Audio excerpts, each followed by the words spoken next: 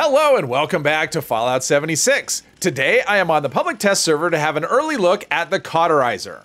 So the Cauterizer is a unique chainsaw and it can drop uh, as a raid reward. You can either get it as the weapon, you know, as is, or you can actually get it as a plan to craft the weapon, either way, and it is tradable. It does have uh, four star effects, so it is vampires with extra critical damage and bonus critical charge. And then the fourth star is the great, greater the number of combat targets around you, the greater your damage output, which sounds awesome. And maybe it is. I actually don't know. It, it's a bit ambiguous, right? It doesn't tell you how many targets, uh, like if it caps, you know, maybe after 10 targets, it doesn't go up anymore. I don't know. It doesn't tell you what percent it goes up per target. Maybe it's 1%, maybe it's 20%. It's Probably not. It's probably like Furious, where it's maybe five but I don't know. And I also don't know how close the targets have to be to count in that calculation.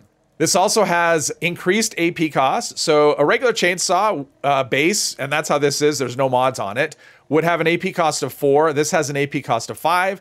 It has minus five durability. I'm not sure what that means. I don't know if that means it loses a little bit. Uh, yeah, I'm not sure what that means in terms of uh, it, it, does have some effect on durability, but I'm not really sure how big the effect is or which direction. Minus to me seems like maybe it wears out quicker. It also has plus five or plus 12 fire damage and plus 5% armor penetration. Now, what's the uh, what's the downside of this? So the downside number one, those effects cannot be changed. It just has what it has. You can't uh, switch out the legendary effects. And so we've got uh, bonus critical charge and bonus critical damage, which normally are effects I like, but on melee weapons, as near as I can tell, they don't do anything. You can trigger critical hits, but if you look at the floating numbers, they don't change. So what I think is you have here is uh, second and third star that actually don't do anything. Now, if they ever make it so that that works, that would actually be an amazing combination.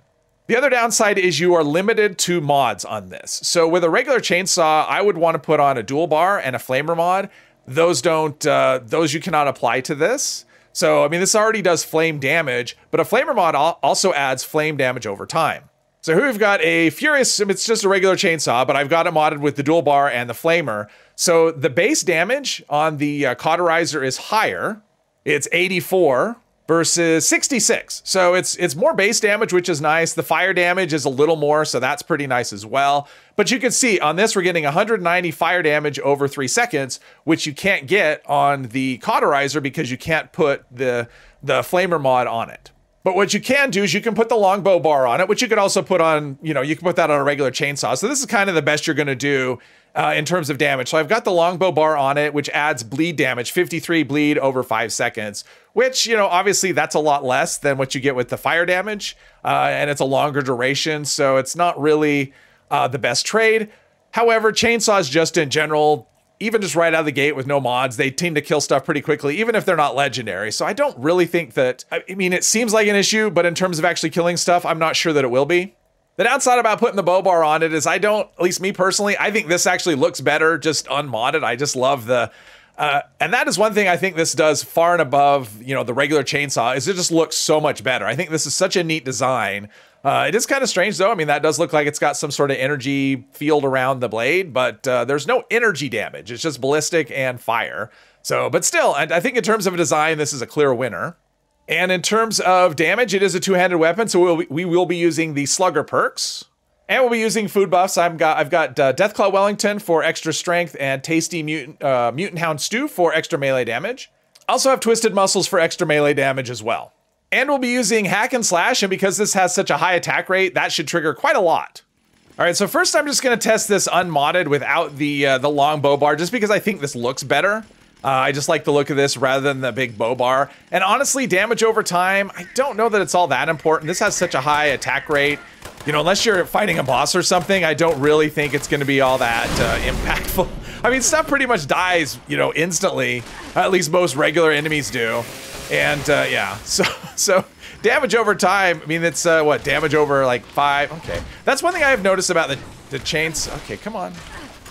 One thing I've noticed about the chainsaw though, and one of the reasons I don't like using it, just in general, is that it is rather buggy. There'll be times when I go to attack with it, and it just is completely unresponsive. It doesn't do anything at all. And uh, another reason I'm using it in first person because I find it to be pretty buggy in third person. I, I prefer to do melee in third person, so that's kind of disappointing. Uh, let's see, here we go, we've got that. So, but when it's working, I gotta say, when the chainsaw is working, it is a joy.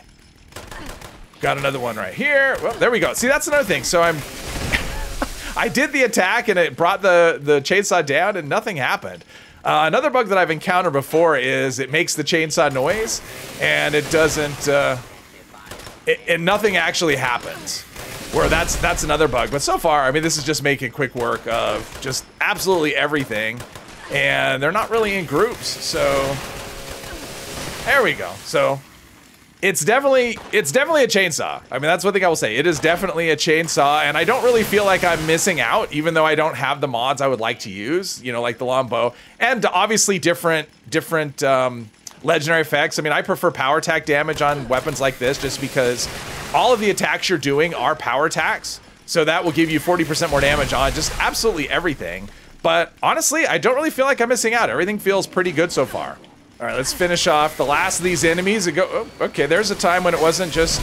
Oh, you know what? I probably I might have gotten staggered, and maybe that has some weird, you know, weird thing where the stagger doesn't actually show up as a stagger, but it shows up by the chainsaw just not working. That's also possible. All right, let's try a little third person and see how this goes. Obviously, you're not going to be able to see the chainsaw, but you'll be able to see the effects of chainsaw. So let's do this, and there we go. it works. It works just like, now that's the nice thing about it being, okay. And there's a time it's not, uh, there we go. See, and that's what I find with the chainsaws. I kind of have to fight it a little bit to get it to work. And maybe there's something I'm missing. Oh, there we go. And hack and slash is actually not triggering all that much. Kind of surprising since it's a, there we go. It is hard to stay in VATS with it with the auto melee weapons I have. See, there we go. Just and yeah, Chainsaws are frustrating. There's a reason I don't like auto melee weapons just in general. Has nothing to do with the damage. It's uh, just has to do with the fact that they're just a buggy mess in general. There we go. Gun Fu is a good thing to have when you're using these close up together. As you can see though, the damage when when when things are working, which is there we go.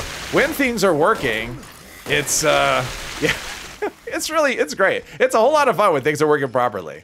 But in terms of looks, I mean, that is such a cool view. You're looking down, you know, if you have to use this for first person, you don't have to. But if you're going to use it in first person, at least you got one heck of a view. That, uh, the, the blade on that is just so cool. And it seems to be a lot more reliable.